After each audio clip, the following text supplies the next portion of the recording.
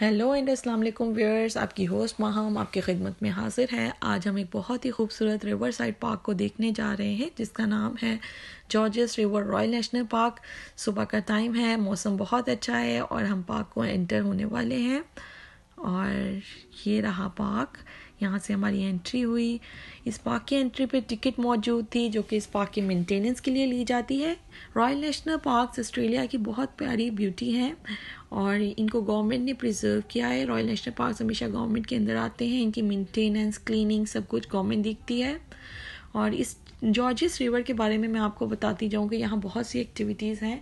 यहाँ पे आप फिशिंग कर सकते हैं बोटिंग कर सकते हैं। इसके ऑपोजिट साइड पे आप देख सकते हैं कि एक माउंटेन है, जिस पे एक ट्रेल मौजूद था और उस ट्रैक पे आप हाइकिंग कर सकते हैं।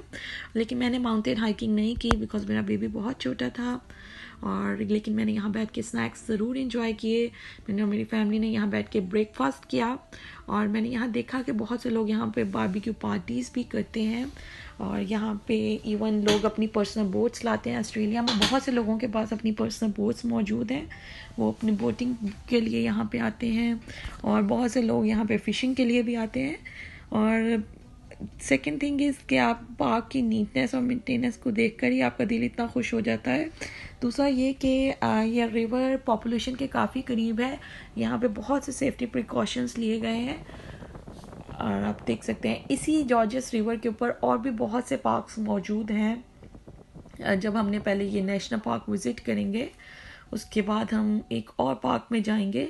अच्छा रॉयल नेशनल पार्क बाकी पार्क से थोड़ा सा डिफरेंट इसलिए होते हैं कि रॉयल नेशनल पार्क की simplicity and beauty and cleaning को देखा जाता है।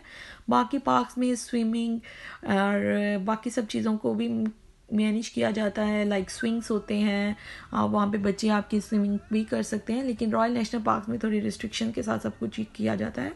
अब हम जा रहे हैं दूसरे पार्क की तरफ़, जिसका नाम था लैम्बर्ट रिज़र्व पार्क और लैम्बर्ट रिज़र्व पे मेरे बेटे ने भी स्विंग्स लिए और वहाँ पे और भी तरह की एक्टिविटीज़ थी। वहाँ वॉकिंग ट्रैक्स थे, वहाँ जॉर्जियस रिवर के ऊपर से एक पुल था और वहाँ पे बहुत से लोग वॉकिंग के लिए आए हुए थे। जिम की मशीन्स थी वहाँ पे, आप जिम पार्ट्स कर सकते हैं। And we are suing going to reach the Lambert park और मैं आपको लैम्बर्ट पार्क अपनी कुछ पिक्स में दिखाऊँगी।